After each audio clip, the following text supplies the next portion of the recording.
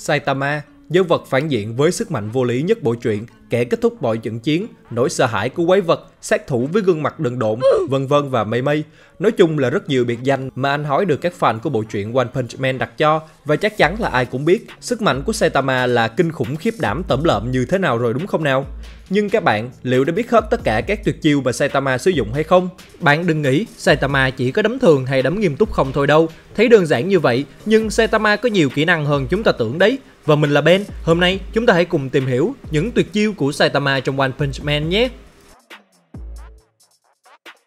Đấm thường ngay từ những chapter đầu tiên của One Punch Man, chúng ta đã được chứng kiến cú đấm với sức mạnh cực kỳ khủng khiếp của Saitama, đó là cú đấm thường. Và kẻ không may mắn đụng phải tên phản diện mạnh nhất bộ truyện, đó là Piccolo phiên bản giận tím người, Vaccine Man, một quái vật được God ban cho sức mạnh để tiêu diệt loài người vì con người đã tàn phá thiên nhiên. Nhưng phải nói là số của Vaccine Man còn đen hơn cả làn da của hộp kim đen bóng khi hắn chỉ mới xuất hiện và chưa kịp thể hiện gì nhiều. Ngoài việc phá vài tòa nhà và bắn ra những quả cầu năng lượng để tạo sẵn một cái hố cho hắn khi nằm xuống thì đã phải bị Saitama tiễn thẳng xuống suối vàng để đoàn tụ với ông bà một cú đấm thường phải nói là tác giả đã khiến cho những người đọc bộ truyện lần đầu vô cùng cảm thấy sốc khi thấy hình tượng một anh hùng với sức mạnh áp đảo hoàn toàn kẻ phản diện, thậm chí là sức mạnh đó khủng khiếp tới mức chỉ một cú đấm thường thôi cũng đã đủ khiến cho tên quái vật tàn sát. Đã vậy, Saitama còn tỏ ra rất thất vọng khi cuộc chiến đã kết thúc quá nhanh chóng với một khuôn mặt không thể đần hơn. Cụ thể là cú đấm đó của Saitama đã khiến cho cơ thể của Vaccine Man bị xé toạc ra thành nhiều mảnh, tới nỗi chúng ta chỉ có thể thấy cơ thể của con quái vật cấp rồng hóa thành một đống máu và chỉ còn sót lại một vài bộ phận của cơ thể. Thật sự là cú đấm đó của Saitama mang một sức mạnh quá khủng khiếp và nó còn khủng khiếp hơn khi chỉ một cái vùng tay đấm rất bình thường, thậm chí là thánh sai không cần lấy đà gì hết, hay chỉ đơn giản là đưa tay ra đấm một phát thôi cũng đủ khiến cho một tên quái vật được God ban cho sức mạnh phải bay màu lập tức theo đúng nghĩa đen đấm thường nghiêm túc. Nếu ở trên là tuyệt chiêu đấm thường thì tiếp theo chúng ta sẽ đi đến đòn đấm thường nghiêm túc. Có lẽ đây là tuyệt chiêu sử dụng thường xuyên nhất của Saitama. Với cú đấm thường nghiêm túc thì lúc này gương mặt Saitama sẽ trở nên nghiêm túc hơn một chút, ánh mắt cũng như gương mặt sẽ trở nên đẹp trai. Thánh sai khi tung cú đấm thường, anh ấy sẽ bước đà và sau đó tung một quả đấm thường để mà so sánh cú đấm thường nghiêm túc này khác gì với cú đấm thường thì điều chúng ta dễ thấy nhất là khuôn mặt của Saitama cũng như thế thủ khi Saitama ra đòn. Còn về sức mạnh thì không thể biết được mà chỉ nhìn vào ví dụ để đánh giá mà thôi. Như là cú đấm khiến cho Kabuto bay màu cũng là đấm thường nghiêm túc, nhưng nó chỉ khiến cho cơ thể Kabuto mất đi phần trên, còn lại phần thân dưới mà thôi. Có thể là tại cơ thể Kabuto quá cứng cáp hơn Vaccine Man nên hắn không tan ra thành nhiều mảnh như Vaccine Man hay lúc thánh trọc đấm rết trưởng lão cũng là cú đấm ấy nhưng khiến cho cơ thể của con quái vật cấp rồng siêu to khổng lồ này phải tan biến vào không khí và đó là những ví dụ cho thấy cú đấm thường nghiêm túc siêu mạnh như thế nào. Đặc biệt là cú đấm thường nghiêm túc mà mình cực kỳ ấn tượng là khi Saitama đấm bay có một khoảng núi siêu to khổng lồ khi tập luyện với Genos. Dù cho cú đấm đó là ở khoảng cách xa, nhưng nếu phải nói so sánh sức mạnh của cú đấm thường với cú đấm nghiêm túc thì mình chỉ có thể ví dụ là cú đấm thường là của một thằng nhóc cấp 1 thì cú đấm thường nghiêm túc là của Mike Tyson. Đấy, như vậy cho các bạn dễ hình dung. Nhưng mạnh là thế, tuyệt chiêu này vẫn chưa là gì so với những tuyệt chiêu mà mình chuẩn bị nhắc tới ở phần sau của video, nên các bạn cứ từ từ mà thưởng thức tiếp nhé. Bật ngang nghiêm túc Sau khi có đấm thường nghiêm túc, thì tiếp theo chúng ta sẽ có bật ngang nghiêm túc. Nghe nó chẳng giống tên của một tuyệt chiêu gì hết đúng không? Nhưng đừng nghe thấy tên nó mà coi thường nó đấy, vì đây được xếp vào một trong những đòn tất sát của thánh trọc đấy. Và nạn nhân của tuyệt chiêu này không ai khác chính là người tình không bao giờ cưới của Saitama, đập cướp chân không, à nhập vẫn tốc âm thanh Sonic. Phải nói là Saitama đã rất ưu ái khi dành tặng món quà cực kỳ đau đớn này cho Sonic và cho đến tận bây giờ chỉ có một mình Sonic là được nếm trải qua tuyệt chiêu này của Saitama.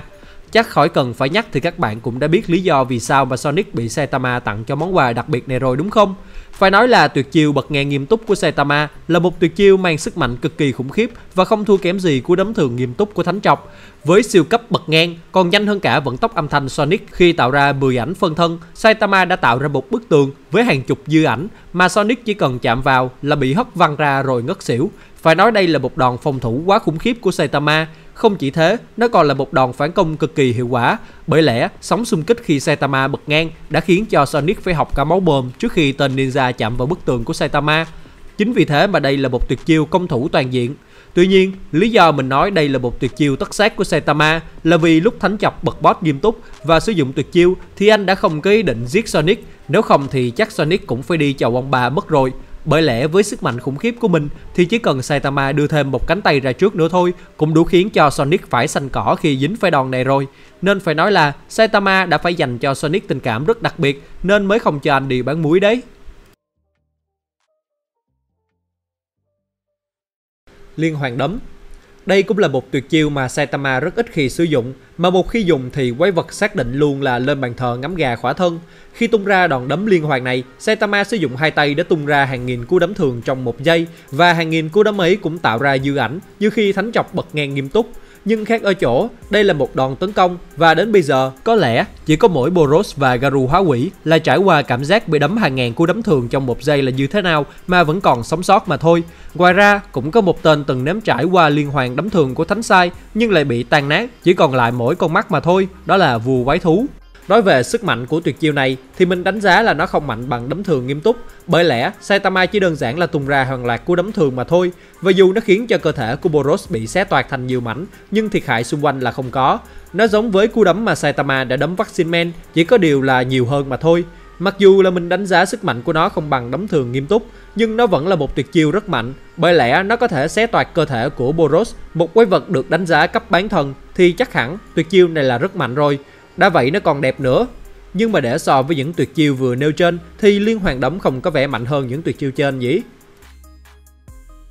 Uốn mông đại pháp có lẽ trong tất cả các tuyệt chiêu mà mình vừa nhắc đến trong video này, thì đây là một kỹ thuật cực lạ, vì nó không sử dụng tay hay chân để tấn công đối thủ, mà lại sử dụng mông để tấn công. Nói chính xác hơn là dùng mông để phản công. Tuyệt chiêu này được anh Trọc phát minh ra trong lần tham gia đại hội võ thuật, và anh dùng nó để đánh bay Sui Ryu dính tường sau khi nghiệm ra được Võ thuật là múa may quay cuồng để nhìn chân ngầu hơn. Thay vì tung một đòn đấm thường hay một đá để kết thúc trận đấu, tuyệt chiêu này chỉ đơn giản là Saitama đưa cái mông lên rồi sau đó xoay vòng tại chỗ là có thể tung chiêu được rồi. Và nguyên lý hoạt động của uẩn mông đại pháp nó giống như việc bật ngang nghiêm túc vậy. Khi cả hai đều phải dựa vào phản lực để hất văng đối thủ ra xa và nếu đối thủ càng lao đến nhanh thì phản lực sẽ càng lớn. Nhưng khác ở chỗ là tuyệt chiêu này không được đẹp mắt cho lắm vì có thể vi phạm thuần phong mỹ tục khi Saitama phải thực hiện hành động đưa chiếc mông của mình lên và nó sẽ khá là chóng mặt khi người thực hiện phải xoay tại chỗ. Nhưng mình nghĩ là với một kẻ hack game như Saitama thì anh chọc chỉ cần đứng im, đợi đối thủ lao vào rồi đưa cái mông hất đi là xong,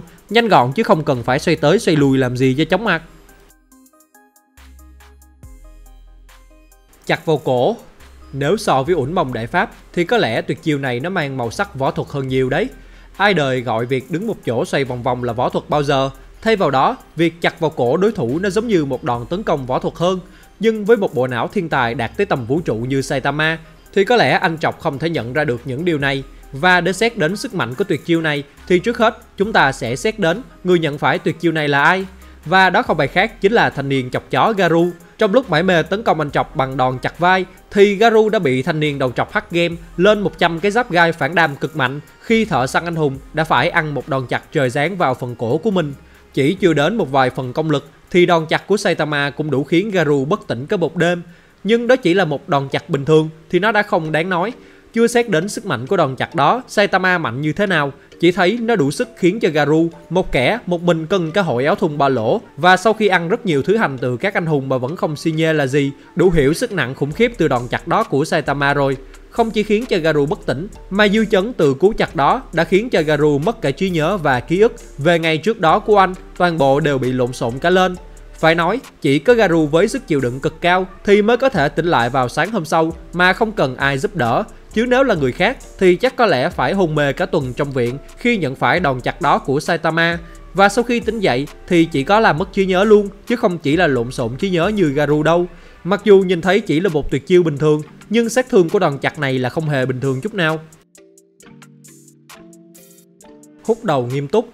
Hiện tại chúng ta chưa được thấy Saitama thực hiện tuyệt kỹ này trên anime hay trong mạch truyện chính của Murata vì tuyệt kỹ này chỉ xuất hiện duy nhất một lần khi Saitama đối đầu với Garu hóa quỷ. Hút đầu nghiêm túc là một kỹ thuật sử dụng đến cái đầu hói siêu bóng loáng của thánh Saitama và tung vào người đối thủ, như cái cách mà cầu thủ chơi bóng thực hiện vậy. Và cú hút đầu này của Saitama đã khiến cho Garu hóa quỷ cục cả một cánh tay. Khi đó, Garu đã tiến hóa tới trạng thái hóa quỷ khổng lồ rồi và hắn dường như vừa đánh Saitama vừa cảm thấy bế tắc vì những cú đấm trước đó, cú nào cũng khiến cho hắn học máu mồm, chảy máu mắt hết. Và đến với trạng thái này thì chỉ một cú hút đầu của Saitama cũng liền khiến Garu cục cả một cánh tay. Tuy nhiên sau đó thì hắn đã lành lại và trở thành một hình dạng to lớn hơn nữa cùng với một đôi cánh khổng lồ. Trước đây, Saitama chưa bao giờ dùng đầu của mình đánh nhau cả, có thể là vì đầu hói là một trong những chỗ nhạy cảm nhất của Thánh Sai mà. Thậm chí là tên nào dám trêu chọc cái đầu hói của anh hay chạm vào nó thì ngay lập tức ăn đấm liền. Thế mà với Garu thì Saitama sẵn sàng dùng cái đầu hói để hút vào hắn. Quả là Garu may mắn nhất rồi còn gì.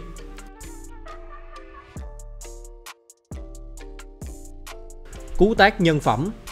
có lẽ là mình không cần phải giải thích quá nhiều về tuyệt chiêu này nữa, bởi vì chính cái tên của tuyệt chiêu này cũng đã nói lên sức mạnh của nó rồi. Cú tác nhân phẩm không biết là có đủ sức sửa lại cái nết của mấy đứa nhân phẩm kém hay không, nhưng nó đủ sức tác bay màu Mosquito Girl, một trong những quái vật có body mờ lem mờ lem nhất của bộ truyện. Và cũng rất may cho Genos khi suýt tí nữa thì anh đã phải tự hủy vì cô nàng mũi này. Cú tác nhân phẩm của Saitama mạnh tới nỗi chỉ với một cái tác đã khiến cho mũi chan tan tành banh xác và chỉ còn lại một vũng máu mà thôi. Đến cả Genos khi chứng kiến tuyệt chiêu này thì còn phải xin theo làm đệ tử của Saitama là đủ hiểu nó mạnh như thế nào và ấn tượng như thế nào rồi. Nhưng dù cho cú tác đó mạnh như thế nào, có nhân phẩm như thế nào thì cũng không thể nào giúp Thánh Sai tiêu diệt được con mũi sở hữu bản năng Haki né tránh vô cực. Đến cả thuốc xịt côn trùng cũng phải bó tay vì mình chắc chắn là chính con mũi này đã đứng sau giật dây cho tất cả quái vật. Hề hề, mình đùa thôi. Và giờ thì hãy cùng đi đến tuyệt chiêu mà chúng ta mong đợi nhất, cũng như là tuyệt chiêu mạnh nhất của soái ca đầu trọc nhé. Đấm nghiêm túc Và tuyệt chiêu cuối cùng, tuyệt chiêu mà cả bộ truyện cho đến bây giờ, chúng ta chỉ mới được chứng kiến một lần duy nhất. Tuyệt chiêu đã cứu cả trái đất thoát khỏi màn thảm họa diệt vong. Tuyệt chiêu mà chúng ta hy vọng những chapter tới của One Punch Man có thể xuất hiện thêm một lần nữa để các fan chúng ta được thỏa mãn niềm mong ước. Đó là sát kỹ đấm nghiêm túc chỉ cần nghe đến cái tên tuyệt chiêu thôi là những người yêu thích bộ truyện Thánh Phòng đã cảm thấy vô cùng cảm xúc rồi. Sát kỹ đấm nghiêm túc chính là tuyệt chiêu mạnh nhất trong bộ truyện One Punch Man của Saitama và không biết liệu đây có phải là tuyệt kỹ mạnh nhất của anh chưa. Mà để nói về sức mạnh của tuyệt chiêu này thì chỉ có thể nói là không tin được. Cú đấm có sức mạnh để khiến cho đòn tấn công phá hủy hành tinh của Boros phải chịu thua và đến cả thân xác của Boros dù có cách xa cú đấm ấy, nhưng cũng phải tan nát khi trận đấu kết thúc và các phi thuyền cũng bị dư chấn từ cú đấm mà bị phá hủy tan tành. Không những thế, sức mạnh từ cú đấm nghiêm túc của Saitama còn chia cả bầu trời ra làm hai, nó còn khủng khiếp hơn cú đấm mà Saitama đã đấm vùi biển sâu gấp hàng trăm lần, thậm chí là hàng nghìn lần. Chính vì thế mà đến bây giờ vẫn chưa có đối thủ thứ hai khiến cho Saitama phải tung ra cú đấm này một lần nữa. Vì thế mà mình cũng như các bạn đều rất hy vọng rằng trong tương lai chúng ta sẽ được sớm chứng kiến lại cú đấm này của Saitama. Và đó là những tuyệt chiêu của Saitama các bạn thấy mình có liệt kê thiếu kỹ năng nào không? Hãy comment phía dưới cho mình biết nhé. Và các bạn có thể ghé thăm nhóm làng một đấm trên Facebook của bọn mình để cùng tham gia thảo luận các giả thuyết, đặt câu hỏi, chế meme liên quan đến One Punch Man và cũng có thể đóng góp ý tưởng cho các video tiếp theo của mình. Và cuối cùng là nếu thấy video này hay, hãy like, chia sẻ để ủng hộ mình và đừng quên bấm đăng ký kênh cùng nút chuông thông báo bên cạnh để không bỏ lỡ những video thú vị tiếp theo của bọn mình nhé. Tạm biệt.